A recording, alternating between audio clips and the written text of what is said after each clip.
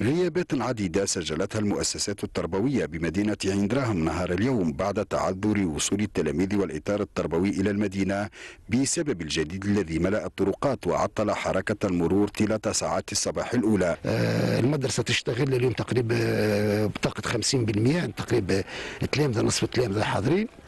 نظرا لوجود الجليد على مستوى الطرقات عيق حركة التنقل. عندنا معظم برشا تلامذه يتنقلوا من أماكن بعيدة آه، خاصة رياف مدينة عين دراهم تتحسن يلتحقوا البقية. عندنا بعض الزملاء كيف كيف الاساتذه يتنقلوا من أماكن بعيدة من طبرقة من ببوش من خارج عين دراهم تعطلوا نفس الشيء آه، في الطريق. بارده برشا يعني وصلت حتى moins 3 moins 4 الصباح يعني العودة المدرسية خاصة اليوم فيها risque حتى على التلامذه فيها risque على اللي يتنقلوا.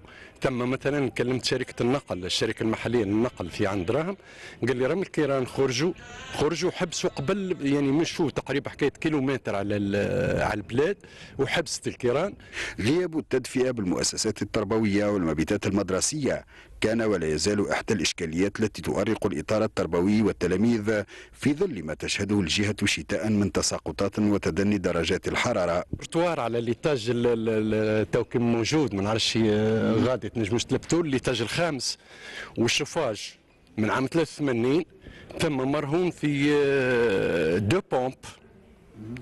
إعادة صيانة من عام 83 لازم إعادة صيانة. تقريبا باش يتكفل به الديوان أما متى هذا نسألوا فيه التو؟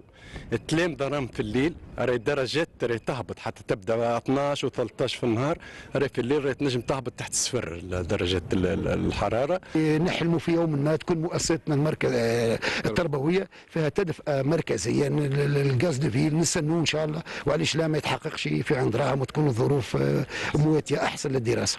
وضعية عدد من المؤسسات التربوية وخاصة في المناطق الريفية تتطلب تدخلات عاجلة بالنظر إلى تردي بنيتها الأساسية وافتقارها للوسائل والمعدات الضرورية.